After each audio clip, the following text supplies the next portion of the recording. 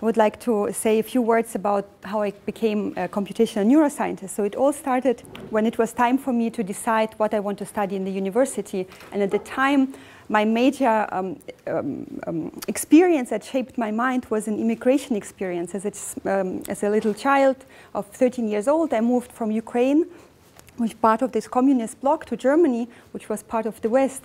And that experience uh, told me that it's very important to have, a, to have an education and a career that is transferable between countries. So we need to, I, I thought I would need to understand something about the, um, the, the world and the um, the, the methods that are used in the world that are transferable. And there is um, there are very little, um, there are very low number of professions that can do that. If you are a doctor, you can't change countries. If you are a teacher, you can't do that either. And, and I was looking for profession that could do that. And um, I had an aptitude, I think, for mathematics and physics, and I thought that's one of the few professions that would enable us to move between countries, and regardless of what happens in politics, you can always find a job that was my main motivation to go into physics. And, and then later on, I discovered I wanted not only to understand the tools, but I wanted to apply it to something where the loop between experiments and theory is short. So when you, when you are um, a nuclear physicist, um, the moment you discover some effect, it will take years or decades for some experimentalists to test that, and that was too long for me. Um, I didn't have that patience so um, I, um, I, I, I, thought that I would like to have um, a, a, topic to work on that has this uh, shorter time constant, but also is something that is directly related to, to our everyday life. And biology was, and particularly the brain, was something that I thought is worth to understand. And there are many open problems to be addressed yet, despite the fact that neuroscience is about 100 or 200 years old. So that's kind of the motivation why I drifted from physics or why I came to physics and then um, how I came to computational neuroscience.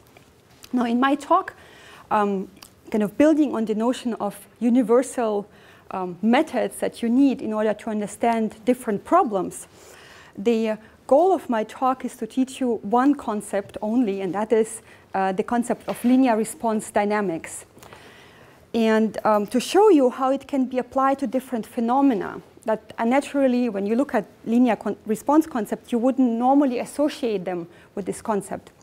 So the, the overall theme, uh, theme that we try to understand is um, we want to make sure we, we can interpret the spiking of a network, which means that when we look at the individual spike times of neuron 1 and neuron n, we would like to see in that pattern somehow reflected what that network was experiencing, the sort of stimuli that were driving the neurons. And from the activity of the network, we could say if this is a network that's moving an arm or processing a visual theme, whatever the computations that are implemented here, we want to decode the fundamental features that makes it possible to implement these computations. So when we think about a computer, we know that regardless of the software we are trying to write, whether it's in MATLAB, in Python, or other languages, it all boils down to X, um, XORs, ANDs, and, and other logical gates. You can write any um, addition, multiplication, or other complicated functions using a very small number of universal computing units. And that's sort of the scheme that we are looking for a minimal description of how to understand even more complex computations by finding the methods to boil the complex computations down into a simpler mathematically tractable form. And the concept of linear response functions has been useful in, in a number of areas. And one of them is the rate dynamics, where we present a stimulus. This is S of t. This, uh, t denotes the time, and S denotes the amplitude of the stimulus at the time uh, t. And, and then we are looking at the activity and population activity means firing rate activity of the whole population average across neurons as a function of time. And the, the notion of the linear response function was useful to understand how this R of t is described by S of t. So kind of understand the mapping between the input and the output of the network. But it is also useful when we think about pairs of neurons. So if you consider a pair of neurons, you can wonder about how correlated these neurons are. Are they uncorrelated, meaning that they each have their own life, or whether there is something about them that makes them synchronous, for example. So the linear response concept can also help you understand synchrony in neural networks. But it can also um, it can help you also understand global oscillations, which means that um, not only the notion of sort of stochastic synchrony, occasionally these neurons um, spike together, but the sort of global oscillations um, where there's periodicity in the activity of the neurons. Even so, linear response in its name has the word linear, which means that it's kind of would normally be applied to linear small perturbations. It can help you understand phenomena that range beyond the linear realm. And that's sort of the theme of my talk that I would like to, to convey to you, that even so linear may mean it's limited in its um, usability to small perturbations, it, it is applied to phenomena that transcend that, um, that, that um, are, for example, global oscillations.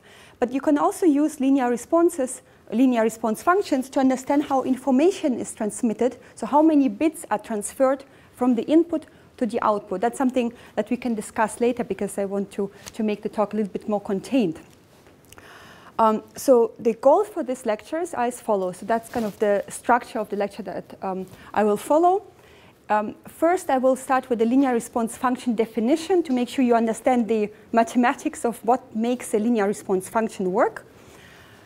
Um, then we will go on to look at how these functions can be measured in any given experiment. And then we will explore the topic of pairwise spike correlations and how linear responses are related to that. Then we will move on to phase transitions, and specifically the phase transitions between asynchronous irregular state that Juliana alluded to in her talk, and then look for, um, for features in that network activity that will translate uh, irregularly active networks into uh, synchronously active networks, and networks that exhibit oscillations, for example. And then um, in the last part, I would like to shed light on linear and nonlinear models and see and, and teach you how the linear response functions affects also that transformation. So we will think about um, feed-forward um, feed-forward chains and uh, see how and when you need a nonlinearity and when you potentially can do without. And in the tutorial, there is the option of discussing information coding. And what I would like to do uh, more interactively with you is um, calculate or go through a specific calculation of a linear response function in a model. And I will um, use a model that I have, I have been working on for a long time, and that's very tractable. I think you don't need a lot of mathematical prior knowledge to make the calculations. All you need is basic um, integration techniques and differentiation techniques, but nothing beyond that. Okay, and throughout my talk, I would um, like to, um, to ask you some, some basic questions. So we will uh, focus on some quizzes, and I hope to inspire some critical discussion. So please feel free to interrupt me at any time and, and, and ask for clarifying questions. And um, also let me mention that this particular topic that I will cover in this talk will um, hopefully soon appear in a review in current biology. So if you want to look at the citations that are related to this uh, concept, you can, you can look it up there.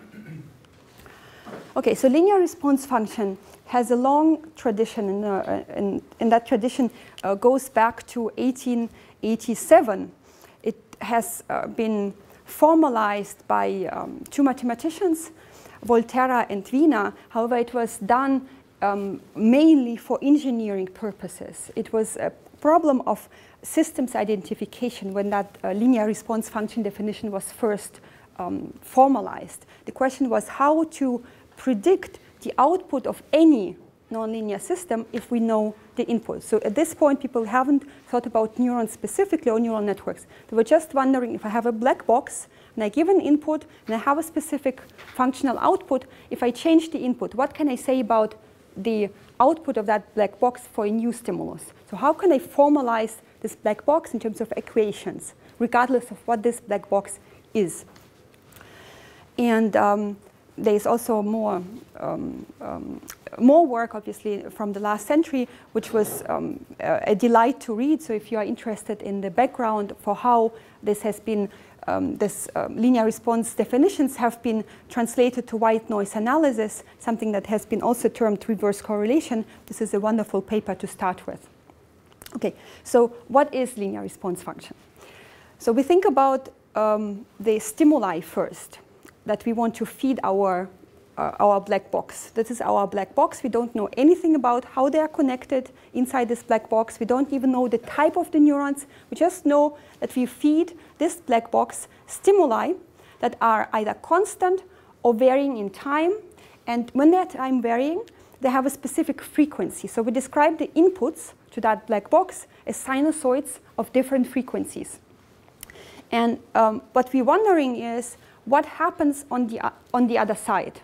So first, it, it's important to recall that we assume that the black box is initially, before we perturb it, in a steady state. So it, it has some intrinsic dynamics that doesn't change as a function of time. It's, it's stationary, and we don't know exactly what this is.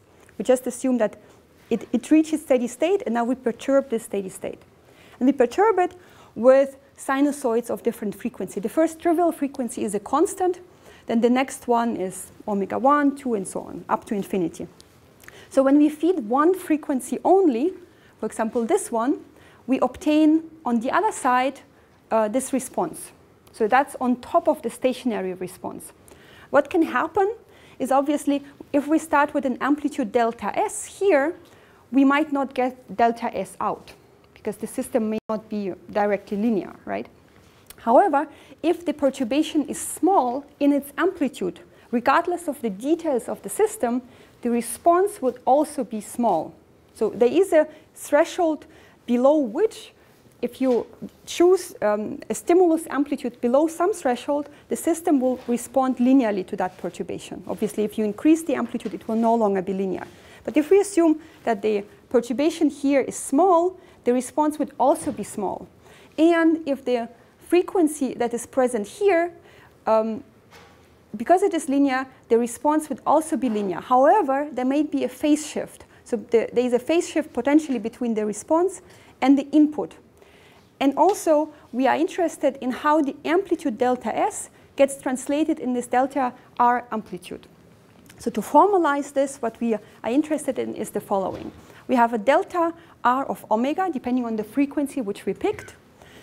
And um, this is the stimulus that we obtain on the other side, um, that, that we, so the temporal evolution of the response. I, I, said that in general there may be a phase shift, in which case we enter a, uh, sinusoid of omega t, but out we get sinusoid of omega t plus phi. One second. And the amplitude is now modified by uh, delta S, or that was present originally, plus a change of the amplitude that's proportional to the, um, to the uh, function of the black box. Just to clarify, is the input provided to all the neurons in the network? Yeah. And if so, is it synchronously provided? Yeah. So here we don't know anything about the black box, but for mathematics we assume that it's, it's provided to everybody um, equally. Or we are interested in those that we perturb. So the, the unit that we are interested in is perturbed. And then we look for its response.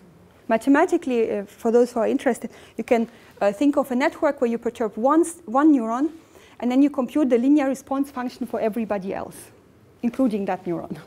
That's also possible. But here, I thought it's, it's easier to think about the population um, situation where um, delta S refers to the amplitude that's provided in the stimulus for all the neurons, and all the neurons respond with this delta R.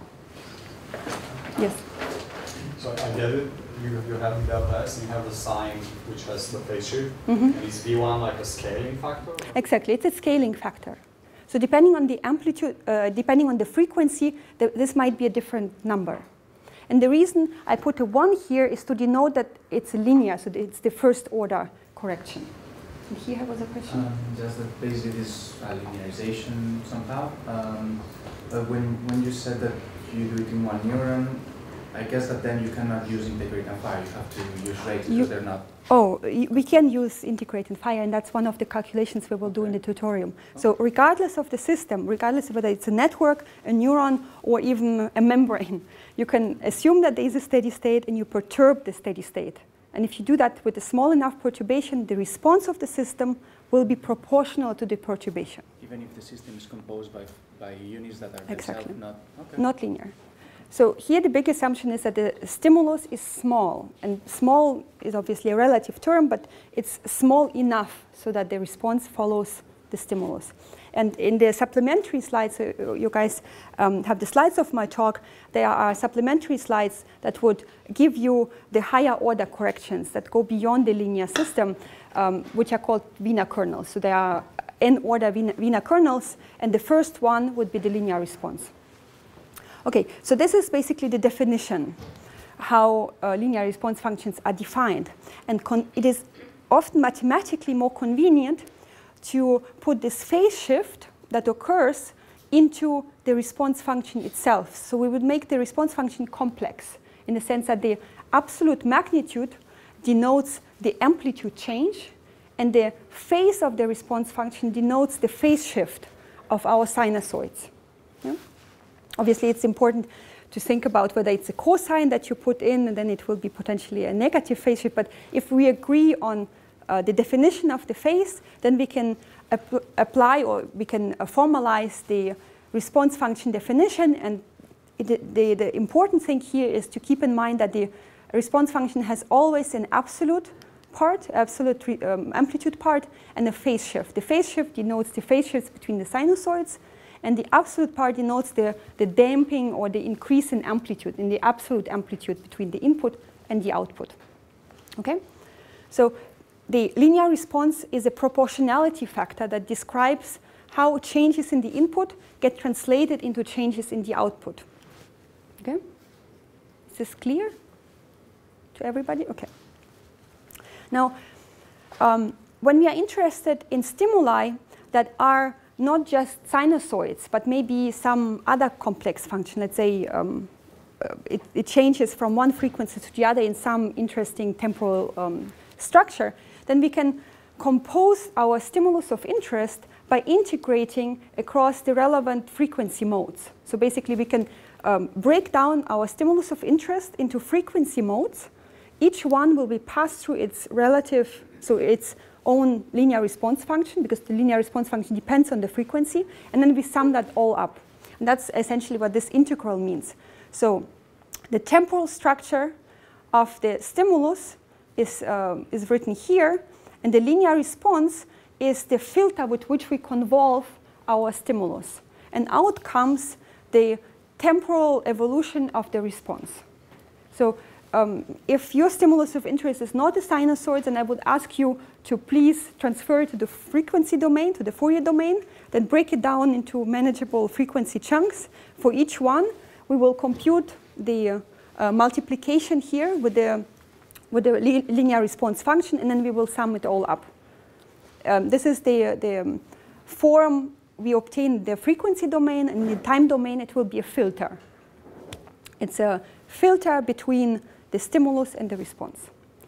And um, because this concept of linear response functions has a long history, many different names that essentially refer to the same phenomenon have been used. And many of these names um, you, you may have heard already. So I will just recapitulate so you associate the names that you know with the function that I'm describing.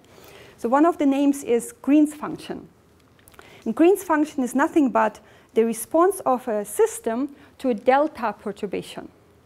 Now, obviously, you can decompose the delta perturbation into its uh, individual frequency modes, and then you can sum up to know what would be the response of your system for which you know your linear response function to delta function. So in a sense, the, the use of a Green's function is equivalent mathematically to the use of linear response.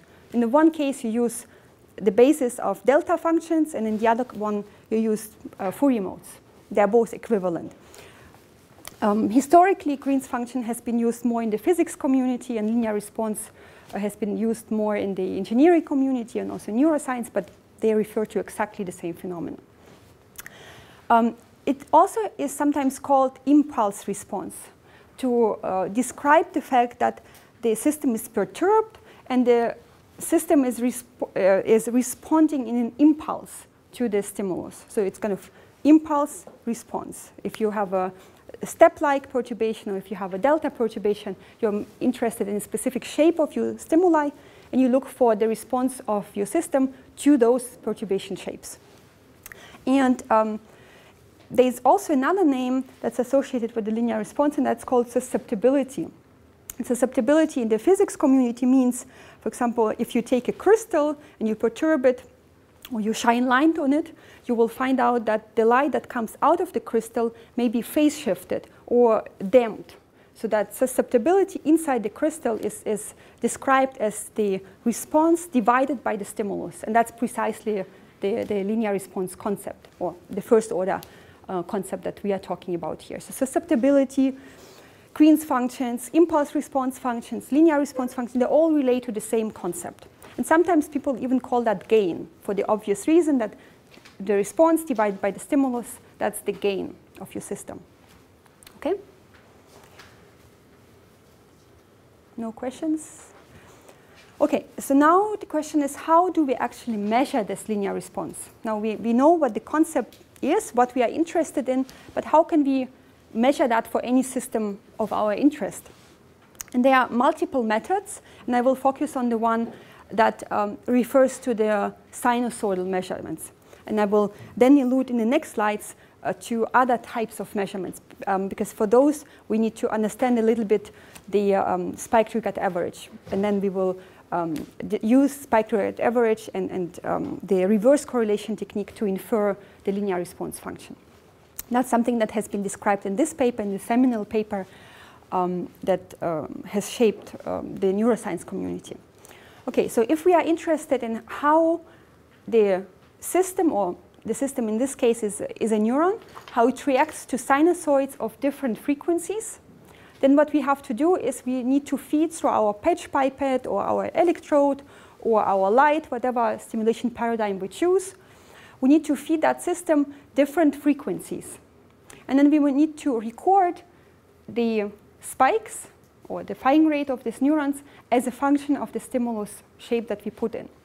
And the way this is often done is by computing a PSTH. So that's the uh, 0 to 2 pi um, structure of our sinusoid, you, you notice that 0 to 2 pi is independent of the frequencies. You can compute the PSTH for any uh, frequency of interest.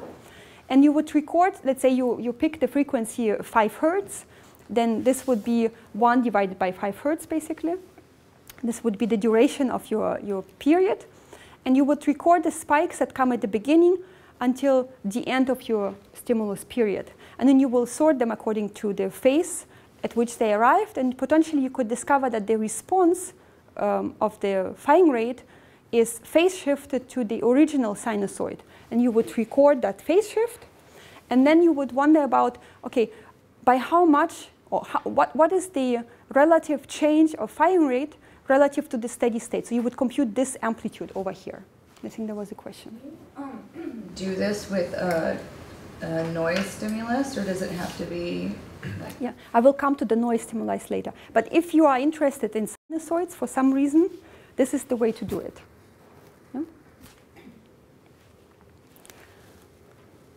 Okay, um, they, there are plus and minuses for, for different techniques. The plus here is that you can control exactly the amplitude of the sinusoid. And you can see if the sinusoid that you put in is actually the sinusoid that, this, that, that the neuron gets because there is potentially pre-filtering by the electrode or by the membrane and so on. So that's, I think, a little bit better controlled stimulus. However, you are free to do, um, to choose your stimuli shapes. I just didn't know if, uh, I guess like more basically, I didn't know if you could actually do a for, like the inverse Fourier on noise signals, or if you had to kind of know like something more predictable about the sine waves that you were putting in. Um, no, I, I, will come to the spike triggered average in a moment, and I think that will answer your question. I think uh, visual neurophysiologists are very lucky that V1 neurons like sinusoidal gratings. So I think uh, much of the classical work in visual neurophysiology is based on gratings. That is the advantage that it plays directly into this linear response. Exactly. And also let me note that the uh, linear response function here um, has only one dimension, but there are response functions that have two dimensions. So you could perturb uh, potentially, if you think about a neuron, you can do that as a function of dendritic distance, and you can um, limit the stimulation to one specific uh, spot, or you can do that over extended periods of time. So there are spatial response functions and there are temporal response functions, but nevertheless, they are still response functions. Okay, now we come to the much anticipated um, spike triggered average that will allow you to choose different uh, shapes of stimuli, not be limited to sinusoids. So the way to think about spike triggered average is the following. If this is the amplitude of your stimulus, uh, this is denoted by the blue line here. And if we know that the spikes are emitted at some times, here, here, and here, this is the spike of a neuronal population or your neuron of interest, whatever the spikes emerge from, we don't care at this point. All we know is that there is a spike here, here, and here. And that's basically it. And as many spikes, um, the, the more spikes you can record, the better will be your estimate. Okay, so what we do is we are interested in the firing rate, uh, we are interested in the stimuli that precedes those spikes. Okay? What does it mean precede a spike? It means that we choose a, a window, tau, and we go back tau relative to each spike. And we record the average stimuli before the spike. So uh, if we decided that this is one millisecond, we go one millisecond back from each spike, and we, we take this number plus this number plus this number, but divide by the number of spikes.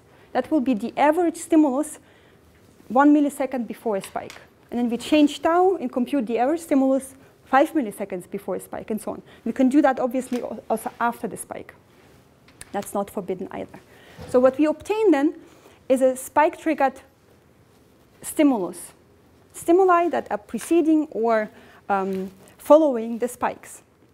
So mathematically what it means is that the spike-triggered definition is, uh, is defined as follows. We look for the stimuli that are preceding minus tau the spikes. And spikes are now uh, part of this R of t. That's something, th this quantity has been defined by Juliana very kindly. This is the response of the neuron.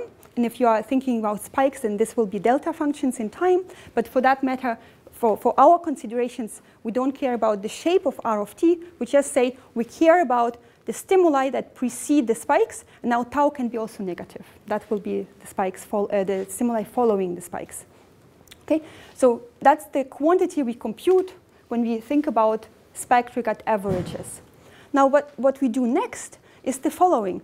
We remember we assume that the response of the stimuli, uh, the response of the system, is proportional to the stimuli multiplied by the linear response function.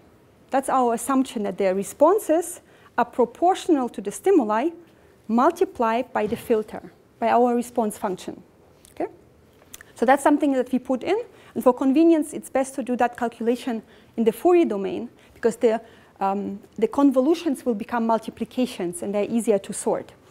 So what we obtain is the Fourier transform of this quantity here is proportional to the linear response function, this omega that comes from here, times the power spectrum of the stimulus.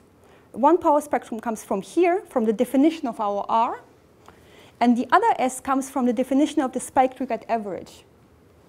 And together, what we obtain is that the spike triggered average is proportional in the Fourier domain to the quantity of our interest times the power spectrum. And that precisely answers the question for how to obtain the uh, linear response functions when we don't have stimuli that are sinusoids at our disposal. So we record the spike triggered average, and we divide it by the power spectrum. Okay, that will give us precisely that quantity of interest. And the reason is that regardless what the power spectrum is, actually numerically it would be best if it's not too close to zero because you will be dividing by zero. So you will be amplifying um, weakly, um, weak, weak amplitudes. Um, but technically you can divide this by this and obtain this function. And here we made no assumption about what this function is.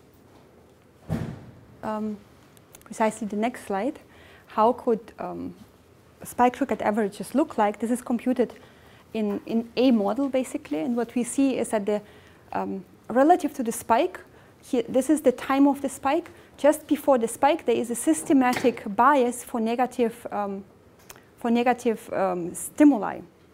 So there is a hyperpolarization first going on, and, but just before the, stimul uh, before the spike, uh, the stimulus rises, which means that there is a depolarization going on that will eventually cause the spike. But in some statistical sense, uh, for example, in this parameter regime, um, there could be a hyperpolarization before there is a depolarization. This is kind of interpreting what sort of events might cause the spike. But, but going backwards to what Juliana said, you can also see what, um, what influence the spike had on the statistics of the, of the stimuli.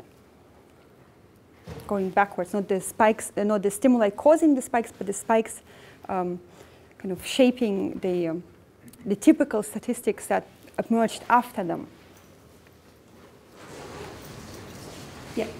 Um, but, I mean, this only takes into consideration when this particular stimuli actually cause the spikes, and you do not look at the uh, at the uh, occasions where this happened, but no spike was. Uh, yeah, yeah. I'm looking specifically for spike triggering statistics, which means I don't care about what happened when there was no spike.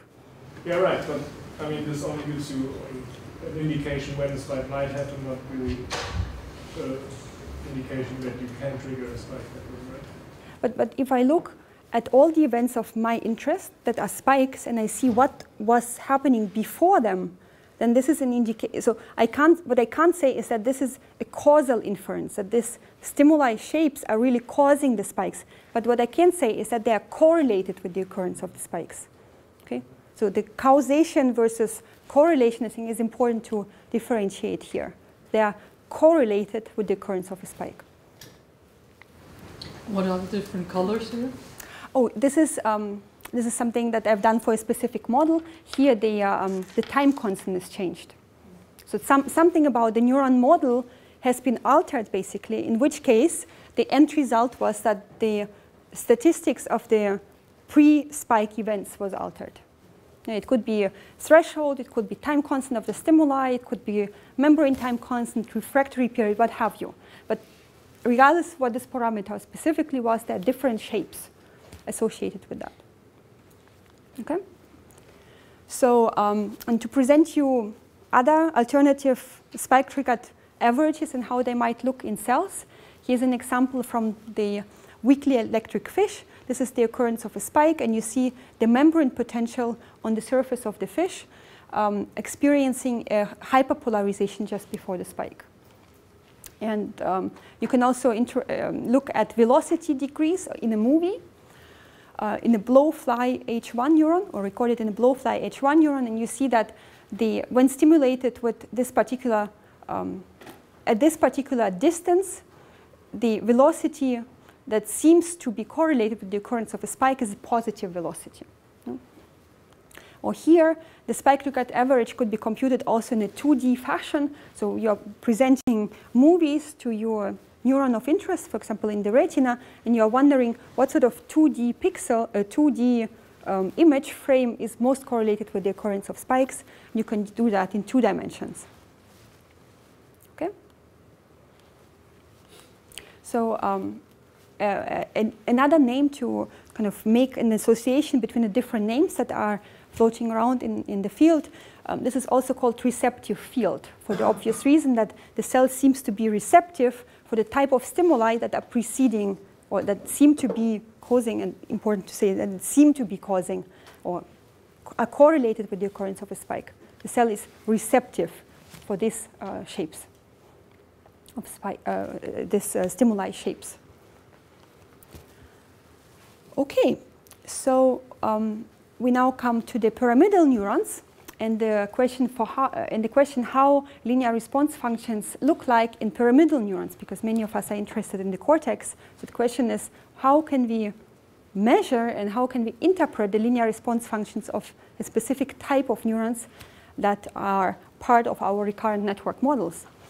And here what we've done is we've measured the linear response um, measure, uh, using a specific correlation factor, but effectively this is proportional to the amplitude of the linear response function. And this is the stimulus frequency. You notice this is a logarithmic axis. What we found is that the, um, the, the linear response function has non-zero amplitudes for frequencies that range up to about 200, 300 hertz. Beyond that, the neurons are no longer susceptible to the stimuli. So if you put in a 1,000 hertz stimulus, the neurons won't see that basically. That will be buried in the noise. But be, if, if you choose a stimulus that, that is less than, let's say, 200, 300 hertz, then there will be a significant modulation of the firing rate of the neuron. And um, other people have obviously done experiments on other types of cells. So they will present you a kind of variety of different shapes of this linear response functions. This is the impedance magnitude in mega ohms. And you see that different cells here have different, um, different shapes. This is the passive property, I think, and this is the active property, if I'm not mistaken. I think there was a question. Sorry, and the signal frequency, is this the frequency of a current injection? Or yeah. Can be any... It, it's a, here in this particular experiment, it's a current injection. But you can think about other um, stimulation paradigms. If you get a cell model like Hadley-Hutchinson type, would you get the same curve? Like, yeah. Like, uh, can you get them theoretically too? Technically, um, the, the linear response shapes depends on the model. So okay, even yeah. in conductance shape, in conductance-based models such as Hodgkin-Huxley, it really depends on which conductances yeah. you put in. And let's say for one conductance, you might have this type of curve, and for the other one, you might have a little bit of an oscillatory component. So there is no um, right answer. Yes, yes, yes, they, they, they for every model, there will be a response function, but if you change something, something about this model, let's say you change the input statistics type or thresholds or, or some other parameter, the linear response function will change. And yes, you can compute that also for conductance-based models. Is that a question? No? No? Okay. Um, and here are a few model results. And the features that are apparent in these model results are something that I think um, is, is worth thinking about, or the, the sort of questions, or the sort of um, understanding that these linear response functions enable us to make. That's something we can ponder uh, for a few seconds. So um, the paper by Fourcaud and Trocmé reported in 2003 the following observation. So um, they've done numerical experiments on conductance-based models with different firing rates. And you notice that this is um, a circle refers to 23 hertz. The, um, this uh, star-like shape refers to the 66 hertz. But when they normalize this frequency axis, relative to the firing rate. So they, they took the input frequency and they divided it by the firing rate of the neuron.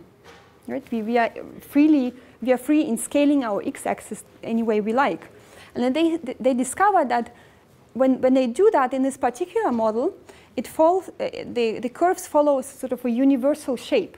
So um, the inverse seems to be also true, that the more neurons spike, the higher frequencies they can encode right? So if, if this particular point is now at 100 hertz instead of at 10 hertz, then the neuron uh, will, will be able to process these frequencies up to the firing rate, basically, of the neuron. Mm -hmm. um, so we know that pyramidal neurons in particular get input from like fast spiking neurons, mm-hmm. right? Mm -hmm. And those are vastly different in their frequencies. Mm -hmm. So I thought, I'm, maybe I'm missing the point of this, was this saying that you can encode best what kind of um, frequency that you... You intrinsically spike. Right, right. So the intuition... So be very different, right? Because they can also, and they, they clearly can get input that's very high, but mm -hmm. do they output or encode um, at a very low level, right? yeah. Um, yes. So um, to, to understand this phenomenon, I think it's, it's best to consider the following. I give you five spikes, the first one is here, the last one is there. And now I say that the, uh, the firing rate of, of these spikes is, let's say, one hertz. But, uh, of this um, neuron is one hertz. But the experiment that I did to record one hertz uh, was such that the neurons were stimulated with 100 hertz. So it means that there are um, many cycles before the next spike occurs. Right? The, the spikes seem to skip many cycles and then the neuron spikes, and then there are hundreds or, or tens of, of cycles, and the, the next spike happens. So for the neuron, it, it seems to be hard intuitively to keep track of the phase of the cycle if there are so few spikes, right? Yeah. This is the intuition between, um, this is the intuition leading to the fact that linear response functions should be dependent on the firing rate of the neuron. Because if, if the cutoff um, is related to the precision of the spikes, then if the spikes are very far apart, then that precision could be compromised and you will be um, imprecise in when you fire the spike. This is just the intuition coming from this particular model calculation. Okay? However, this is not to say that it has to be so. It's just, in, it's just an intuition. So neurons are in fact here, this is the experiment that, that we've done, is that in this particular example, the neurons were firing at about 5 hertz, 5 to 10 hertz, but they in fact could transmit stimuli that are about 10, 20 times higher than the firing rate. Yeah, yeah. Yeah? But it's kind of a ballpark estimate of what frequencies you could reasonably assume the neuron to follow. Yeah? But it's not to say that, okay, firing rate, and that's the cutoff of, of your frequency response. That's not the case. Okay? And here is another interesting observation, that correlated background noise can promote higher frequencies. And when we look at this linear response function, we observe that when we computed the linear response function, we, assumed we, we did not necessarily assume a specific stimulus shape. However, we, we have to make assumptions about what the background is. We can only control the stimulus, but we cannot control the outside world of the neuron.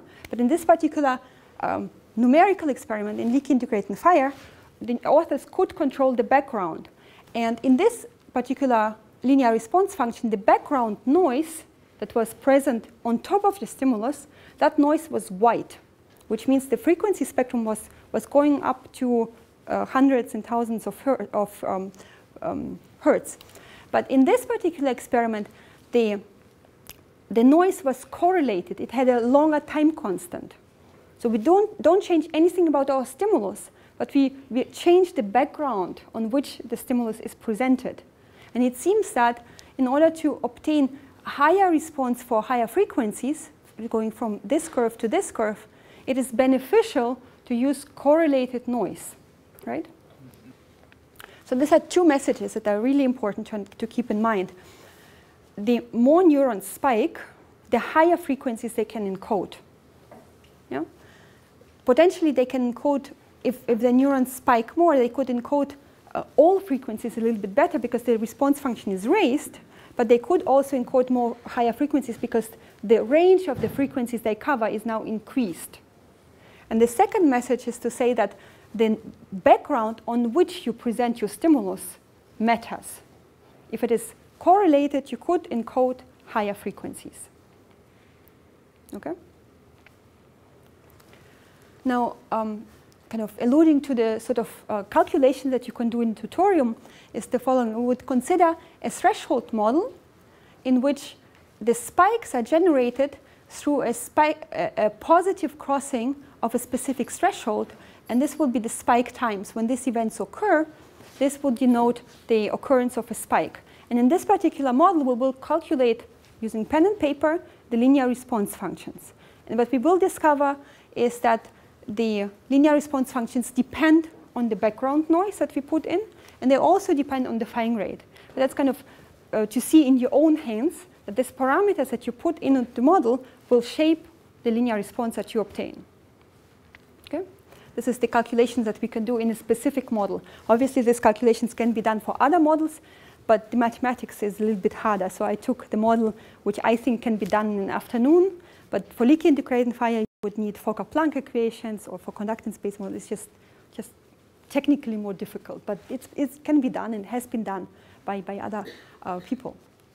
And important to note that the model we take here is strictly not an integrated fire model, but um, the work by Lawrence, ba uh, Lawrence Badel has shown that in some important parameter limits, these models are identical. So even though this is not a leaky integrated fire model, it could be understood as a leaky integrated fire model in specific biologically re relevant parameter range. Yeah? This is something to keep in mind because I often get questions related to how similar is leaky integrated fire to this particular threshold model calculation. Okay, now we come to the sort of um, question that um, could put in perspective of what I have been saying. And the question is, is there a universal response function for a given neuronal type? Let's say you are interested in pyramidal neurons, and you're asking yourself, what is the linear response function? Can somebody give an answer to that question? Is there one or is there no one? Not one. Anybody? Raise your hand if you think there is one. Oh, that's, that's the right answer. that's the right answer. There is no universal function. It depends on background noise, it depends on the firing rate, your thresholds, and everything else. Okay? So whenever people say, there is a response function we have measured, yes, but if you change the parameters, you can measure again. That's basically the, the message. Okay. Um, now I would come to the synchrony and pairwise correlations and how are we doing on time? Is that? It has to be hour than 130. 1.30. Oh, okay, so we have plenty of time. Um, yeah. Yeah? Okay, now we come to the synchrony and pairwise correlations. And here I hope to convey to you how this linear response function is useful in understanding spike correlations between neurons. Okay, so here we consider the following situation. We take two neurons out of a network. The first neuron is in red, and the second neuron is in blue. And we consider these neurons in the following way. We analyze the presynaptic partners. And we will discover that some of these presynaptic partners are the same. And those common presynaptic partners are denoted by the black circles here. It means that this presynaptic partner neuron is projecting to both neurons. And the activity of these neurons, these partner neurons, will be denoted by NC, whereby C denotes the, the notion that they are common to, to, both, part, uh, to both neurons. Okay?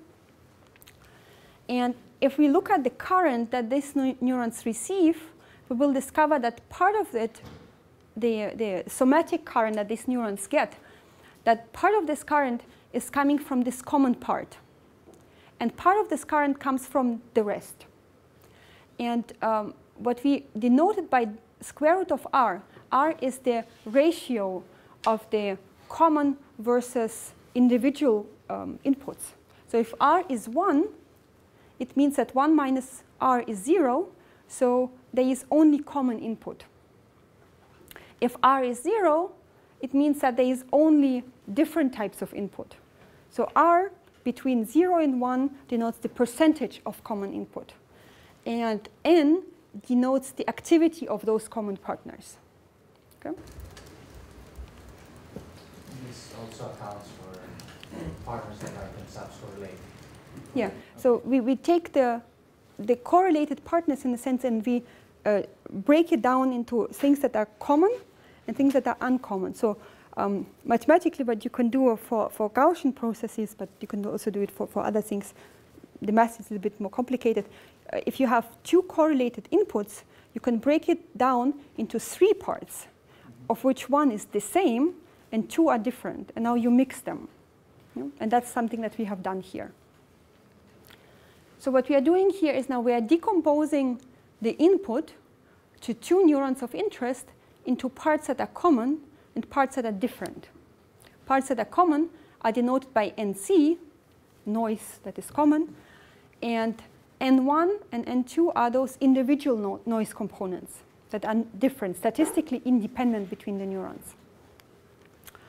And what we are now interested in is the firing rate of the neuron 2 relative to neuron 1. So we trigger the spikes, or the firing rate of neuron 2, to the events that happened in neuron 1. This is the spike correlation function that we are interested in. This would be 0, or, or the relative time would be 0, and we are interested to see if there is a surplus of synchronous spikes in the neuron 2 whenever neuron 1 fired. So we were just curious about how much of these, how many of these spikes occur coincidentally in a sense. Yeah? That's the function that we would compute. And mathematically, what we obtain is the following. We compute the correlation between the response of neuron 1 multiplied with the response of neuron 2. And here it is important to pay attention to the fact that here we have a plus tau. So if tau is equal zero, we are interested in exactly coincident spikes. If tau is, let's say, five milliseconds, it means that we are interested in this time delay between the spikes. And now we decompose the response of the neurons into the, uh, using the assumption that the input, which is the, the, the current, um, is convolved with our linear response and gives the firing rate. So basically, we, we convolve this particular current with the uh, linear response filter of our neurons. We've done that for the first neuron, we've done that for the second neuron. And here we used also the assumption that this part and this part are uncorrelated, so we can already drop them out. So when we compute the correlation, they, they, they won't matter. So what we are left with is the linear response function multiplied with the correlated input for one neuron. And here we have the square root of r, which comes from here, times the filter times the, um, the common noise of the other neuron. Is this calculation clear to everybody, or should I discuss more? Here, sorry. This should be tau. Tau. Yes, this should be tau. Very good question. Um, yeah, la LaTeX ch changes this thing sometimes. Okay. Um, so what we do next is the following. We, we transfer this function into the Fourier domain. It means Fourier, uh, Fourier transform of a correlation is a multiplication. So we do that on the left-hand side, and we recognize that this is response of neuron 1 in the Fourier domain times the response of neuron 2 complex conjugate of it. And this is the, the definition of our cross-correlation function. Now, what happens on the left side? Uh, it, because we know that the linear response times the, uh, times the common noise, that's our linear approximation for our firing rate. So now we need to, uh, to bring that into the Fourier domain.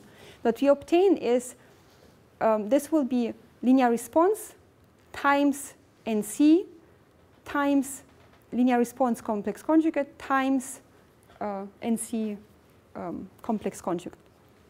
So now we have from this part and from this part um, the linear response times its conjugate. So that will give us the absolute value of the linear response to the power of 2. And here we have the power spectrum of our input. And that comes from this part and from this part. From this part, we have the uh, non-complex conjugate, and from this part, we have the uh, respective complex conjugate. And that ends up in this term. And here is r, because here we had square root of r, and here square root of r. This is the ratio of the common uh, terms. Yeah? Is this calculation clear to everybody? So basically, the spike correlation function, or spike cross correlation function between two neurons is nothing but the linear response function multiplied by the power spectrum of the common noise. Okay? I mean, you're assuming that they have the same uh, response function. Exactly. And if they didn't, they just have to do a subtraction or something? No, they, they, they will be multiplied by each ah, other. okay, yes, one response function times the complex conjugate of the other one. Yes.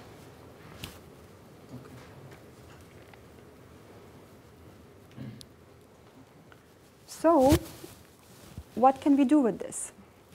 Now, if we knew that the linear response function was such as described in this paper, that the more neurons fire, the higher frequencies they can represent. So if we assume that if we have firing rate number one, the linear response breaks off here, but if we have firing rate number two, the linear response would break off at a higher, at a higher frequency. Yeah? What can we infer from this knowledge alone about pairwise correlation functions? Can you go back to the previous slide for a second? Um, if we compute the correlation, why are we not subtracting the mean from the firing rate? Yes, we subtracted the average. Ah, we, we already did that. We already did that. Yeah, that, that's a good question because you remember the linear response was defined relative to the background, to the, to, to the steady state background. And we subtracted that. And the background would also be uncorrelated to itself, so that would be just a constant added to, to everything. Okay? So if you remember that the firing rate influences our response function, it is plausible to assume that it will also influence our pairwise correlations. Is this intuition clear? Regardless of how specifically it does that, whether the higher firing rates um, get more higher frequencies represented or higher firing rates could also lead to some sort of resonance. The moment firing rates if affect our linear response, we know that, uh, that pairwise correlations would also be susceptible to changes in firing rate. So this uh, has been obviously observed in a number of publications. These are three examples. This is our own work. this is work by uh, Greenberg and al. And this is uh, De La Rocha et al. So here what many authors have recorded is that firing rates increase um, correlations, pairwise correlations increase with firing rate. And they do that because linear response functions increase with firing rate. And we, we know from the definition that pairwise correlation between neurons is directly proportional to our linear response. So if the linear response is proportional to firing rate, then yes, our pairwise correlations will do so, will do so too. And that's what, what we observe. In this particular threshold spiking neuron, if the firing rates go up, so does the correlation. And that's due to the linear response. And, and these are experimental findings that could be explained using the same notion of linear response being dependent on firing rate. Okay, um, let me just get a, I, mean, I think better in terms of vectors. So if uh, basically what you're saying here is that the correlation, if this is a, some kind of inner product, mm -hmm. then it's because the it's because the inner product depends in the moduli of the vectors, not on the underground. Mm -hmm. And that's why, uh, okay. okay. Yeah. okay. So pairwise correlation yes. coefficients are an integral over the whole function. But if the function depends on fine rate, so will do the, uh, so will do the integrals. So we can break down and, and look at the mechanics that, that lead to rate dependence of correlations. So this is an example that I, I find particularly beautiful because um, linear response takes us from synchrony to the intrinsic properties of the neurons to respond to periodic stimuli. Th these two are related. Even so, when these experiments were done, when, when these experiments were done in live mice that are behaving, there is no notion of, of sinusoids, right? There is just uh, recording of two neurons. But the fact that they are correlated has to do with the fact that intrinsically in them, the linear response function has some, some property that lead to, to the, this effect. And that's something that I find amazing, that not just models for spiking correlations and models for linear response, but they actually interact with each other. Sorry, just a quick question. If you have the sort of an intuitive way of looking at the correlation with the firing rate? Is it because if you have like a fixed time window delta t, and we have five, higher firing rate, you basically have more spikes, so there is more chance for them to overlap and be correlated? Um, so the, the chance overlap has been taken out. Uh -huh. So you remember what we've done here, we subtracted the baseline. Okay. So the, the notion that there are more synchronous spikes because there are more spikes overall, that has been taken care of. But it's the fact that the more neurons, um, how should I say it? The fact that this little correlation in, in the input will lead to more synchronous spikes that would be there if, if they were just there by chance. Or there is also another intuition to understand this particular effect that firing rates influence spiking correlation. So if you think about the following, so the math clearly tells us that linear responses matter and that linear responses help us um, understand the mechanics of why, why this happens, right? Because, because of this multiplication. But if you think about it intuitively, what you get is the following. So if, if this is neuron 1, and this is neuron 2, and there are very few spikes here, and let's say they had a common stimulus that was like this. This is NC. This is our common stimulus. And these neurons here are trying to understand or are trying to represent the common, the common part. But the structure of the stimulus is such that the spikes are just too rare to capture any structure of the stimulus. So the more spikes we put into the neuron, the more chance we have to resolve the common structure. And, and that's why pairwise correlations, or that's why firing rates should increase the correlation, because the correlation happens due to the common noise that you now resolve better with more spikes. But mathematically, it back comes back to the linear response being rate dependent. Okay?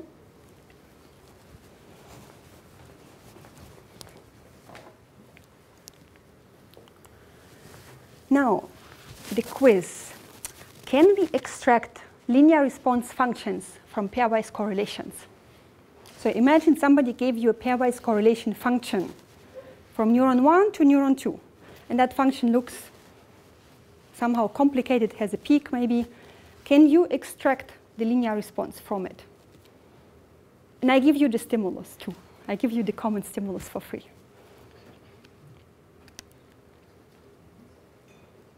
Yeah? Now let's look at this again. We would compute the Fourier transform of the spike correlation function. We would compute the Fourier transform of our stimulus, and we would divide them by one another. However, what we notice here, here we have only the absolute magnitude of the linear responses. So we will not have information about the phases. If we don't care about the phases, then we are fine. But if we care about the structure, like the full structure of the linear response, then this particular approach won't have enough information. But most of it, if we care about the amplitude changes as a function of frequency, then yes, that will be answering our question. And coming back to your question, what happens if the neurons have different response functions, then we will be able to extract the product of the two.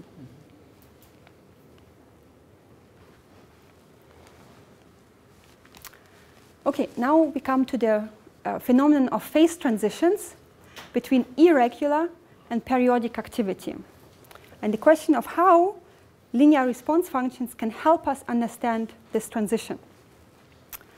To this end, we consider the following. We have an irregularly active neuron uh, network, and we are interested in the transition between irregular and regular firing rate. We are interested specifically in two questions. If it is periodically active, what frequency has it? And the question of when will it start to be oscillatory? Yeah? When does it happen? And when it happens, what actually is the frequency?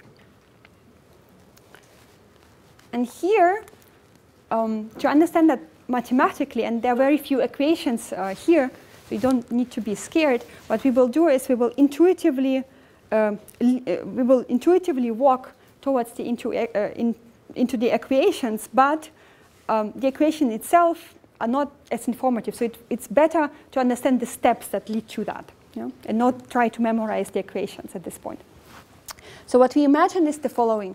We start with the irregularly active network, and we imagine just by chance there is a perturbation occurring in all the neurons, just randomly. No control about it, just appears randomly. And the perturbation is a sinusoid. So imagine for, for a brief second, all neurons in our network experience a, um, a sinusoidal perturbation of the current, randomly occurring, not experimentally imposed. And um, now, for now, we consider a network where each neuron uh, has the same property. They may not be uh, identically connected to each other. This is not an all-to-all -all network, but each neuron, there is only one type of neurons in the network. That's why it's, it may be easier to, to imagine that all neurons belong to one population and that population is now experiencing a random fluctuation that's common across all the neurons in the population. So what happens? What happens is the following. We know also from Juliana's presentation that the firing rate of the neurons is determined by the input current and that input current is passed through a transformation, input-output transformation or IF transformation. Now, when we perturb the input current, we will perturb naturally the firing rates of the neurons. But what happens next, because it is a recurrently connected neuron, is something fascinating. When we perturb an input current, we will perturb the firing rates of the neurons. However, this is a self-consistent equation, which means the left side is appearing on the right side. So the moment we perturb the input current, we perturb the firing rate. When we perturb the firing rate, we will perturb input current, firing rate, input current, so on. So that's kind of an infinite loop. So one perturbation will rever reverberate through the network. It could be amplified through, this, um, through these steps, or it can be dampened down. And the moment it gets amplified, that's the moment where um, where, global order could emerge. And that's the transition we are looking for. So mathematically, what we are looking for is the following. This is the sort of self-consistency equation, and here I'm leaving out the details of the model because they really don't matter for this calculation or for this approach, uh, for setting up this approach. We have a self-consistent equation where the firing rates appear on both sides. They're equal to the IF transformation J is the connectivity matrix times R plus I. Regardless of what F is, what we will be encountering is the following. When we have a small oscillatory perturbation in the somatic current, we will need a linear response function to give us the oscillatory perturbation in the firing rate. That calculations will depend, of course, on the structure of your spiking network, on the connectivity and everything else, on the type of neural dynamics you implement, but basically, what you're really interested in is how this perturbation in somatic current is transferred and what's the linear response function in the firing rate. So from one delta, you want to have that, that proportionality factor, how changes in current lead to changes in firing rate. This is one part of the transformation that you're interested in. The second part is going from the firing rate transformation into somatic current perturbations. So if you know that there was a firing rate perturbation, how much does that perturb your current? And that's the, the other uh, prefactor that you're interested in here. So you started at this step, you had that perturbation. That was the result of this calculation. And now you're looking for an additional linear response, which is this, uh, this factor. Often it's called S. Other people may be using F. But anyway, so you have, in a, in a self-consistent uh, approach, in a recurrent network, you have two linear transformations, one from current to firing rate and one from firing rate to current. And if you multiply them, so if this factor ends up bigger than the initial factor, then that's the point where the perturbation will grow in amplitude, that it will, will it will catch momentum, and essentially it will grow in amplitude and will overtake the dynamics. Yeah? So the breaking point for the stability of a perturbation is when the first part is smaller than the part after the, the loop through the network. So if this result is bigger than the initial um, size of the perturbation, then the perturbation is unstable. And mathematically, what happens is that after we multiply the response functions here and here, this is the first response function, this is the second one, times the initial delta, if this is bigger than the initial delta, then that's the breaking point and we will have an oscillatory um, activity because any randomly occurring perturbation will grow in amplitude. However, there is also a, a little asterisk. This is, uh, this is first order calculations. Mathematically, you should also look at Lyapunov um, coefficients to make sure that the oscillation that emerges, so these calculations will tell us there will be an oscillation emerging, However, it doesn't tell us whether it will be stable or not. However, in many cases, it will be stable. So the intuition here is that first you need to compute if there is an, a, a perturbation that is becoming unstable. So the, the original state is no longer stable because this little perturbation will grow in amplitude, but the resulting oscillatory dynamics needs to be stable too. And that's the, the other caveat, basically. But the first order calculation is the following. You just need to sum up or to multiply your linear response functions from current to firing rate, firing rate to current, and check if this is equal to 1 or is bigger than 1. And if it is so, if it is fulfilled for some omega, that will be the frequency of your oscillatory cycle. And if you are looking at, um, at a multidimensional network, then you have to compute these linear response functions for each sort of excitatory to inhibitory, inhibitory to inhibitory, and all, all of these um, all of these population to population metrics. And if you have subpopulations, then you have an, an added complexity. But regardless of the details, what you are really looking for is whether the little oscillatory perturbation that you started with is growing momentum or whether it's damping down.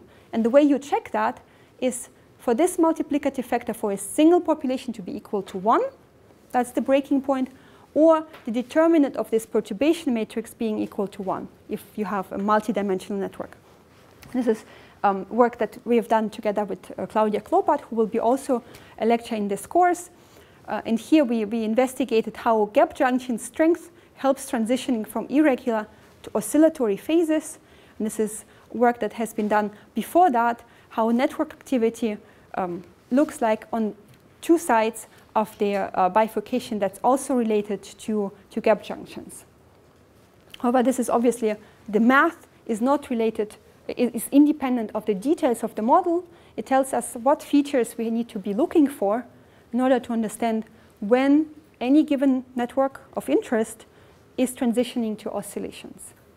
So if you think about it, linear response functions are linear, which means they are describing the properties of the networks with respect to small perturbations, but small perturbations can, can add up and can lead to global dynamics.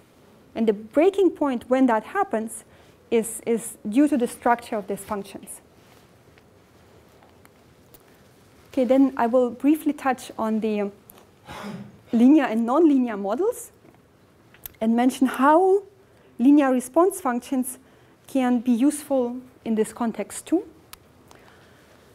So you, you remember we started off with the notion that linear that the firing rate r can be used uh, can be described by the linear response kernel times the stimulus. Yeah? We had r of t equal to linear response times the stimulus or filtered by the stimulus, uh, multiplied by the stimulus. And what we actually have, if we have the stimulus being stronger in amplitude, is that we have to have higher order contributions. So the, the theory by v Norbert Wiener informs us that we have to sum up across all functions that are going from the first order to nth order. And only then we will be describing our nonlinear system of interest completely. So the linear order is not enough. And we have to um, sum up across all other more complex filters. However, this is in generally a very tedious task because you have to compute nth order filters. You have to have enough experiments to be able to do so precisely. So in order to, to um, overcome this complexity and kind of not be interested in higher order kernels, instead what we can do is we can approximate our firing rate by a stationary nonlinearity. So we take the first order and we drop all the rest. But what we add to our calculation is a stationary nonlinearity. We just raise our linear response to uh, and, and apply to it a nonlinear function. So all of these nonlinear kernels that we should be taking into account are replaced by one stationary nonlinearity. Mm? This is kind of the approach of linear and nonlinear models. And um, the idea here is, is depicted by a paper by Osto um, Ostojic, and there, um, there is work by um, Jonathan Pillow and colleagues on this too. But basically, uh, basically what this work sh shows is that it is possible to describe the firing rate of neurons that are clearly nonlinear using a combination of linear and nonlinear transformations. Hmm? And we, we have talked about the usefulness and the way to obtain linear response filters. Now the question is just how can we find this nonlinearity? What, what is the approach to find this nonlinearity? And it turns out that it is possible to use the IF transformation, so the stationary current transformation, the, the, the change, the function describing the change current to firing rate, we can use this particular IF function uh, in place of this um, nonlinearity n. And that's a beautiful work uh, detailed in this paper. And um, what these graphs show is the correlation between the um, actual spiking activity and the various approximations. So what you see here is that the correlations between uh, the signal and the firing rate or the uh, um, linear nonlinear model, uh, linear nonlinear approximation, which is this part, this can be pretty high. You, you notice that the, um, the, the, the um, green line is on the order between 0.8 and 1. So that's a very good approximation. And this happens um, in different parameter regimes. So you see here on, on this axis, IS, which is the um, input current. This is the stimulus time constant. This is the noise time constant, the firing rates, and so on. And all of these graphs show you that the yellow, uh, the, the green line, linear nonlinear approximation, gives you a very good estimate of the actual firing rate. Even so, it's, it's actually a very strong approximation. It says that the nonlinearity is independent of the um, structure of the stimulus or uh, structure of the um, linear response. So you kind of decouple the two, you compute one first, and then you apply the other.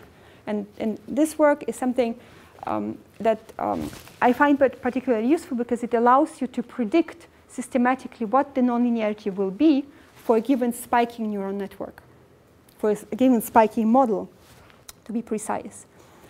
So now comes the last quiz. Could you name three plausible nonlinearity functions? So those n functions that we've been using in the last slides. What could be a plausible nonlinearity from the talks of Ken Miller, Juliana, and others? Is there any candidate function that you could think of? Sigmoid. Sigmoids, wonderful. Yes. Anything else? A step thing, maybe? The what? A step function. Could also be, yes. Gaussians? Mm, less so because the Gaussians decay um, after some time.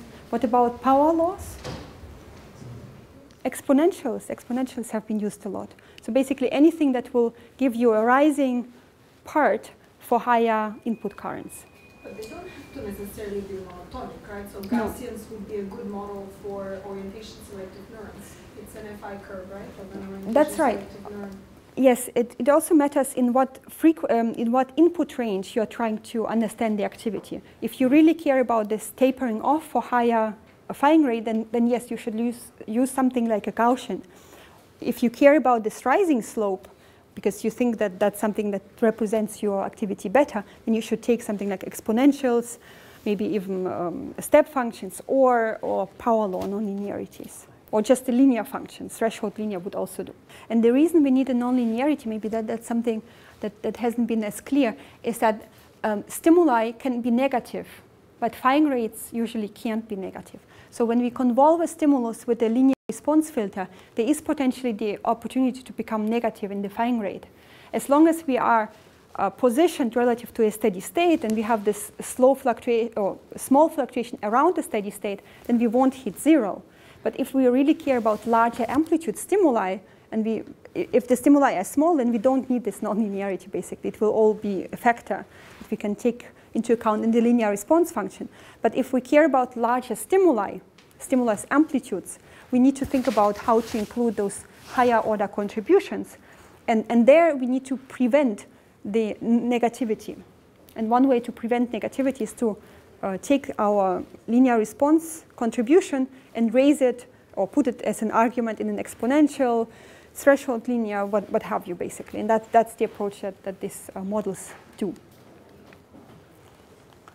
Okay, and, and to conclude, what, why would that be a useful approach? And how can we think about neural networks when we use linear nonlinear models? Or what can linearity, um, what, our, what can our understanding that is based on linearity contribute to a larger understanding of neural network function? Because I think um, it is fairly clear that neural networks are not linear.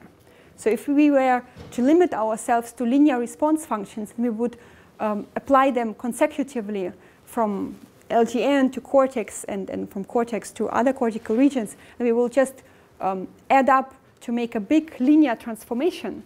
We can't represent any complex function. So there is actually mathematical work showing that in order to make complex um, functions, you need a nonlinearity, which means that you can add a nonlinearity at, at each individual layer, or you can combine nonlinearity between the layers, but without a nonlinear function, you can't represent, um, you can represent XORs, you can't represent addition, you can't do much, basically. It's basically because like a combination of two linear functions, the linear, exactly.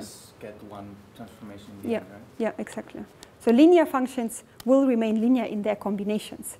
But we know, all know that nonlinearity is not only in themselves, but they are important, but they, they make us able to construct complex functions such as um, classification, such as um, multiplication, addition, uh, selection, any, any um, higher order function that you can think of requires some nonlinearity at some stage or potentially at all stages. So we need to understand not only linear transformations, even so linear transformations are entering here too, so we need to understand them, but they're not enough. And importantly, here, uh, if you re recall, the linear response function depends on the noise, depends on the thresholds. It, there is no one linear response function. So when we think about these cascades, we need to recall that um, when we put the stimulus statistics in, and we assume that there is some, some noise um, happening that we can't control, the moment we change the stimulus statistics, something changes about the noise, the response, the firing rates, everything else, so that we need a different response kernel each time. So it's, it's, it's really hard to establish a, a nonlinear mapping between a stimulus and the response because the functions inside this, this feed-forward uh, circuit really change uh, in our hands. As, as we change the, the statistics, they need to change too. So we, we can't um, easily concatenate them one after the other. Hmm? So even so, that's the very appealing notion that understanding nonlinear transformation here, uh, here, and here individually will, will lead us to, to a global understanding. That's actually very, very hard to defend because each function depends on so many parameters and they probably are interconnected so that we can't use this simplistic approach. Okay, what are the take-home messages from, our, uh, from this lecture?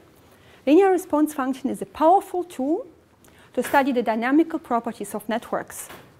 It is related to pairwise correlations and receptive fields, gains, um, susceptibility measures, and so on. And linear nonlinear models can be a good approximation for firing rate activity. However, we need to be very cautious about applying them in feed-forward um, manners. And importantly, there is no universal linear response function for a neuronal type because so many parameters enter this calculation that the moment you measure it and you change something about it, you need to recalculate or remeasure the linear response function. It's a, it's a useful way to characterize, but we need to be careful about what shapes this function. So thank you very much for your attention. And if there are no further questions, we can move on to the discussion.